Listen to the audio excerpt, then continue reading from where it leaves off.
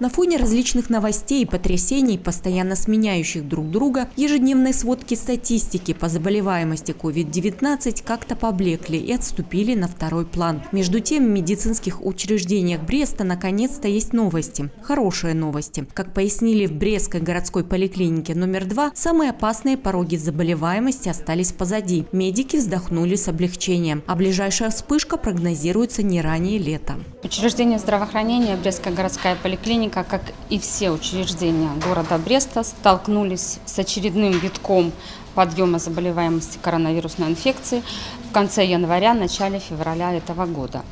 Подъем э, был резкий и очень значительный.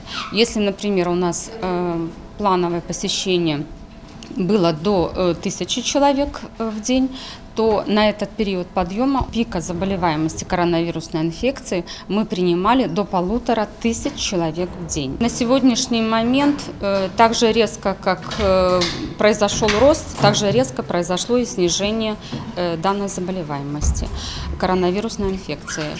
Значит, на данный момент у нас где-то около 50 человек состоит под наблюдением контактной бригады. Положительная динамика обусловлена сразу несколькими факторами, одним из которых является касается формирования коллективного иммунитета населения. Ведь если в целом по городу процент привитого населения составил более 60, то в данном учреждении здравоохранения эта цифра значительно выше. Наше население активно проходит вакцинацию на базе нашей поликлиники.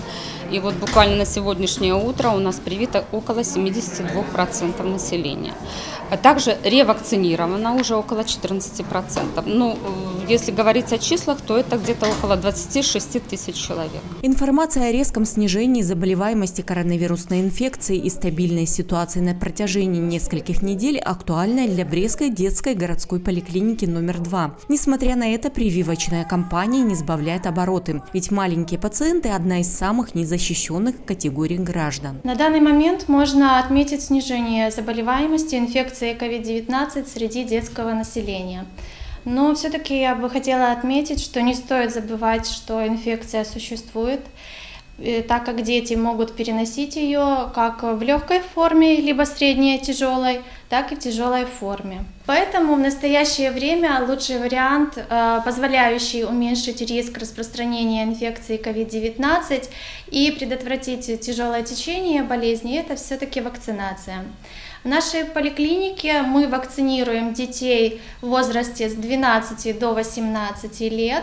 Получить прививку можно а, после медицинского осмотра, как в прививочном кабинете нашей поликлиники, так и в процедурных кабинетах.